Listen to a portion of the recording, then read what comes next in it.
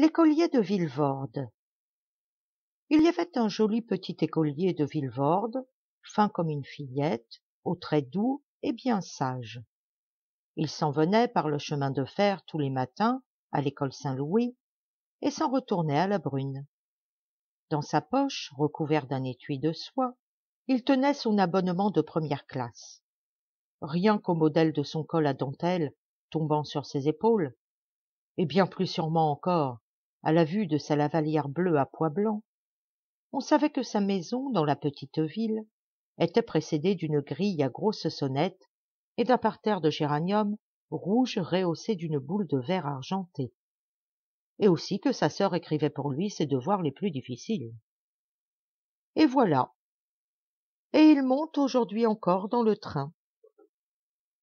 Il s'assied bien doucement dans un coin du compartiment occupé à l'autre bout par un herculéen roux et rose anglais un de ceux-là pour qui l'univers entier n'est qu'une selle pour séant. Or l'anglais une loupe à la main suit le texte menu et serré d'un journal de son terroir où il semble qu'on ait économisé jusqu'à la place du titre pour mettre plus de nouvelles. Mais il n'en passe rien ne lève pas les yeux. Le train se met en marche sans qu'il ait paru s'apercevoir de la présence du garçonnet et le petit écolier de Villevorde, si bien élevé si joliment habillé bientôt n'est plus ici qu'un menu moucheron une bestiole voltigeant dans un ray de soleil. Il y a longtemps qu'il a laissé tomber les deux ou trois menus pensées qui trottinaient dans son cerveau. Les raies vertes des champs les plaques blanches des murs passent aux portières comme des rubans où son esprit ne peut plus fixer d'image précise. Il s'endort par une fente fine tout au plus comme un cheveu et à laquelle l'écolier ne pensait pas. Voilà qu'il sort un bruit mince qui hésite d'abord puis s'élève s'étire et s'ouvre dans l'air comme une bulle qui crève. Oh! il s'éveille bondissant ainsi qu'on sort d'un rêve terrible.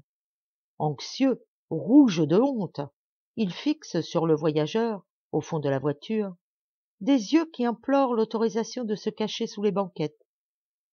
Mais non l'anglais c'est certain n'a rien entendu. Son journal dans ses mains n'a pas bronché. L'enfant se rassure. Son âme se retasse comme la poussière sur la route quand le vent a passé. Mais le vent! Et sans que l'on pût assurer que l'écolier ait fait un mouvement il a atteint le cuir d'une portière. Sans un geste qu'on pût distinguer il a descendu le carreau. Joie. L'air pur et frais du dehors lui saute au visage comme l'eau d'une pomme d'arrosoir.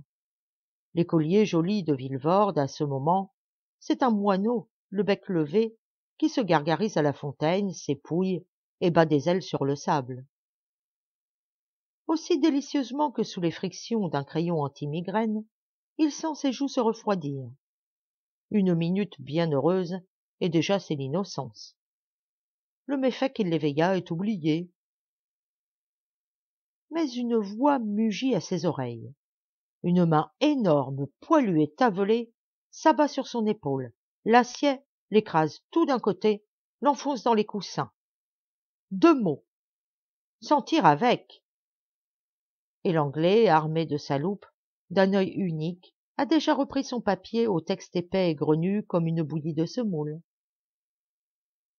à vilain chardonnay d'âne